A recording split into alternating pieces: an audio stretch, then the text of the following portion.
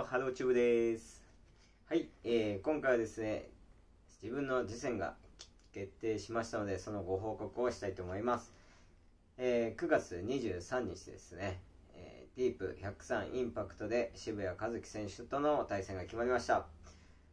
えー自分の試合約1年ぶりということですね、えー結構間隔が空いてしまったんですけど、えー今もですね毎日あのケイブさんの方でしっかり練習させていただいててコンディションもかなりいいのであのいいパフォーマンスが見せれるんじゃないかなと思ってます。で今回からですね、えーフライ級に階級を変更しました、えー1階級階級を上げての再スタートということでちょっと気合も入っているので、えーぜひ頑張っていきたいと思います、まあ、なぜですね階級を上げたかというとえーフライ級結構日本人には多いしかなり今後ですねあのチャンスがある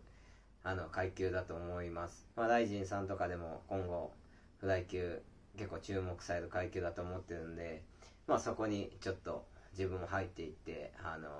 まあ、やるからにはやっぱり一番を目指してやっていきたいと思います。はい。まあそのためのですねまず査定試合というかまあフライ級で自分が通用するのかっていう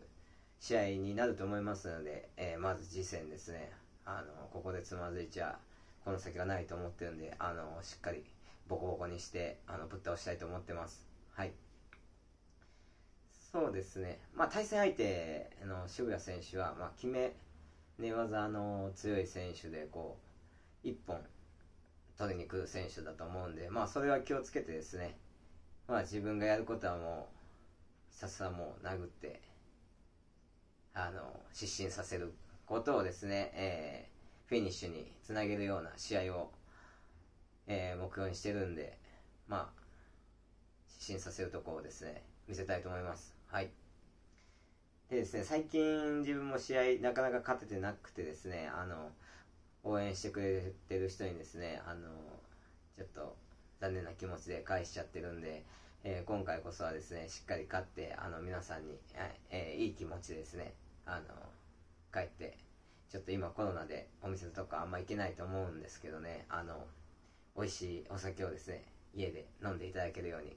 えーバシッと決めたいと思ってます。はい。えーチケットの方はですねまだあの一般販売の方はもしかしたら完売かもしれないんですけど自分の方手持ちであるのでまたインスタとかツイッタ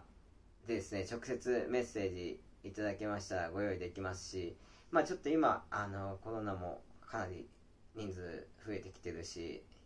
ちょっと会場は厳しいよっていう方はですねあのペーパービューの方でも見えると思いますのでそちらもですねまたツイッターやインスタの方で、えー、Facebook の方で告知させていただきたいと思います。はい。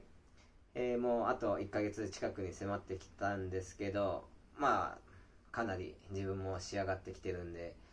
あの復帰戦ですね。いい試合を見せたいと思ってます。皆さん応援よろしくお願いします。ありがとうございました。